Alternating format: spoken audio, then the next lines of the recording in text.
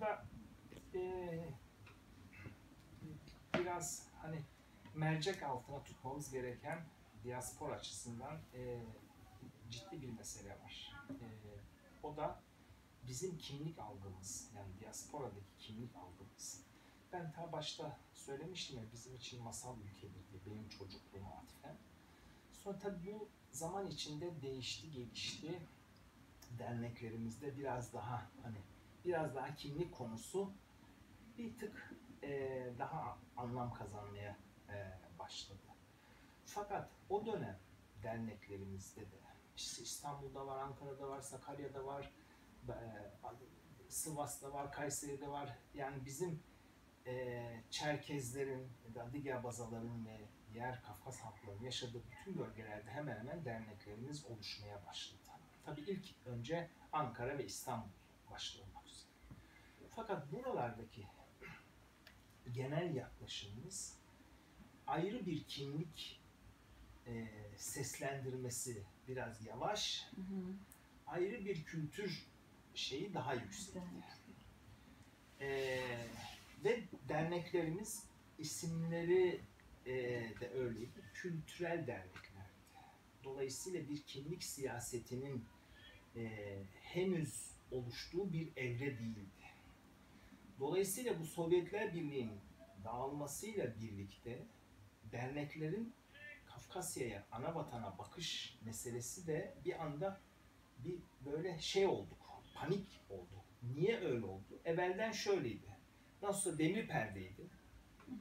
O orada öyle, orada kalmış bir şey. Hani biraz bir köy var uzakta, bizim köyümüz diye şarkılar vardır ya. Ona benzer bir şey. Bir ana vatan şeyimiz var da yani nasıl olsa çok somut falan değil. Bizim bundan bir siyaset ve kimlik siyaseti üretmemizi e, çok mümkün kılan bir şey değildi. Durum değildi. Fakat Abhazya Savaşı ile birlikte Sovyetlerin dağılması hemen beraber Abhazya Savaşı ile birlikte bu kimlik meselesi de farklı bir boyut aldı. Şimdi o zamana kadar bak bu çok önemli bir şeydir. O zamana kadar hiç böyle derneklerimize gelip giden çok şey yapmayan falan insanlarımızın pek çoğu Abhazya'dan parlamento başkanı, Abhazya Yüksek Sovyeti Başkanı ve beraberine heyet gelecek dendiği noktada panikleyen insanlarımız da oldu. Türkiye'de eee, zor durumda kalacağız diye panikleyen. Çünkü niye paniklediler? Çünkü Türkiye açısından Kafkas Türkleri bilmem ne atıfları da vardı. Abhaz, Abhazya. Ama burası farklı bir şey değil. Bak ben sana söylüyorum. Arzımba ve heyetinin Türkiye ziyaretine eee, olmaz eee, bu bizi sıkıntıya sokar diye karşı çıkanları ismen de söyleyebilirim. Bu etkin, bizim toplumumuzda. Etkin, kelli felli iş adamlarımız içinde. Böyle bir şey de getirdi, korku da getirdi. Ha. İkincisi, demin söylüyordum, muhafazakar, Türk muhafazakarlığı ile özdeşleşmiş bir nüfusumuz var büyük çoğunluğuyla diye. Dolayısıyla pek çoğu da eee Demirelciydi o zaman. Sağ eee, parti lideri olarak. Bizim Adapazarı, Düzce bilmem pek çok bölgedeki toplumumuzun önde gelen eee insanların büyük çoğunluğu Demirel'in destekçisi eee DYP işte Adalet Partisi'nden itibaren eee, sağ muhafazakarlığın destekçisi konumundaydılar. Bundan dolayı da bir şey yaşadı, bir eee, değil mi bir böyle bir kargaşa yaşandı. O yüzden tam ne yapacaklarını bir engelleyemediler. Bir şey var. Ee, Abhazya'da yaşanan bir süreçler var ve bu ister istemez diasporayı da e, etkileyecek bir e, gelişme. Biz dışında kalırsak bu sefer şey olur diye içine girdiler. Önemli ölçüde de bizim kontrolümüzde gitsin diye içine girdiler Hı. bu kadroların önemli bir kısmı onu gelişen zaman içinde daha net şekilde gördüm ben. Sonra ne oldu? İşte savaş başladığında ben buradaydım. Hemen demin söylemeye çalıştığım eee, bu Kafkas derneklerinin birliğini, birlikteliğini eee, oluşturmaya çalışan çeşitli merhaleler atlatılmış Türkiye'de. O nüvenin eee, de çağrısıyla bizim de buradan girişimlerimizle İstanbul'da bir hafta içinde büyük bir toplantı yapıldı. Yani 14 Ağustos'ta Gürcistan Abhazya'ya saldırdı.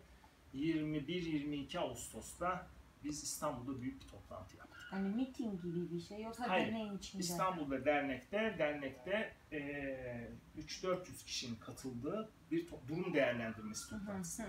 Önce bir ne yapacağız? Haber aldık.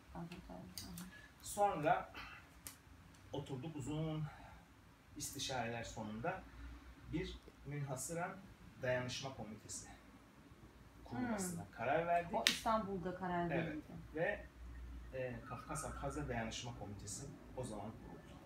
Ve o zaman işte komitenin başkanlığına da Atay abi seçtik. Atay Çekişakar. Ben de e, komitenin üyesiydim. Pek çok insan böyle o- 15-16 kişi bir e, komite oluşturduk. Ondan sonraki çalışmalar yani Abhazya ile dayanışma faaliyetleri bu komitenin e, öncülüğünde e, devam etti. Ama o komite şeyde Ankara'da değil miydi? Yok. Ben hep Ankara'da oldum. Yok çünkü. İstanbul. Komitenin, Kafeden yok yok. Komitenin şeyi e, İstanbul'da. Son ama bu komite Kafet delegelerinin toplantısında seçildi ama İstanbul'daydı toplantı. İstanbul. ha, tamam. ve de bu sonuçta o zaman daha Kaffet yoktu. Ha tamam. Kafkur vardı. Yani e, Kafkas Dernek çünkü o zaman federasyon olma e, şeyi yoktu. E, yasa yasal olarak bizim gibi derneklerin bir araya gelip federasyon olma ya kurul, kurulamıyor. Sonra e, şey değişti, anayasa değişti, dernekler yasası değişti, bilmem ne değişti süreç zarfında Hı. zaman içinde ve federasyonlaşma şansı Oldu. daha sonra oluştu. O aşamada zaten böyle nasıl federasyonlaşacağız falan diye toplantılar yap- devam ediyordu. O anda Abhazya meselesi patlak verince bu girişim yani federasyonlaşma süreçlerine e, ön ayak olan kadrolar otomatikman Abhazya meselesi e, ne Evet, orada falan. sevk ve idare edecek şeye dönüştü. Hadiseye dönüştü. Ve işte ondan sonra şeyler, Adapazarı büyük mitingi yapıldı. Ee, sonra işte buradan para toplanma, şey, O ilaç top- hepsi dayanışma komitesi. Tabii tabii. Onun Onların e, şeyinde, sevk ve idaresinde ilaç toplama, işte e, giyecekti bilmem ne, Kızılay yardımı, uzun şeyler, e, çabalar sonunda Kızılay bir yardım e, şeyi gemisi e, göndermeye karar verdi. Onu da şart koştular. Yani bizim girişimimizle olmasına rağmen dediler e, yani yarısını Gürcistan'a yarısını size Hı. ulaştıracak şekilde ancak götürebiliriz yapacak bir şey. Tabii. Adapazarı'nda ilk defa yani bizim Türkiye'deki Kafkas camiası olarak yani Kurtuluş Savaşı öncesi sırası falan onları çok e, bilmiyorum tabii de ama yakın tarihte ilk defa kendimiz ve kendi meselemizle ilgili ilk defa miting yapmışızdır. Açık. Büyük bir miting. Evet, açık havada miting e, yapılmıştır. E, işte büyük, ne kadar büyük olabilirse en azından 5-10 bin kişinin katıldığı bir e, şeydi miting. Sonra işte Abhazya'dan e, e, diasporadan oraya gitmiş gönüllerimizden e, şehit haberleri gelmeye başladı. Hmm. Önce Efkan şehit oldu haberi ilk başlarda. O zaman halen ben buradaydım. Sonra daha önce e, konuşulmuş olmasına rağmen e, hayata geçirilmemiş bir e, şey vardı. Dünya Abhaz Kongresi Hı hı. e, oluştu ve ilk e, şeyimizi, ilk toplantımızı ilk büyük toplantımızı savaş sırasında yapmaya karar verdik. Ee, ve söyleyeyim Gagra alındıktan Hı hı. bir hafta sonra hatta beş gün sonra eee, şeyde eee Lıhnı'da ilk eee, Dünya Hazabazin Kongresi toplantısı yapıldı. Evet Kasım yok Ekim ayında. Ekim, Ekim, 7 Ekim, 8 Ekim falan olabilir. Eee ilk şeyimizi o 92 mi hala? 93 pardon 93. 93. Ee, şey olsaydı bunu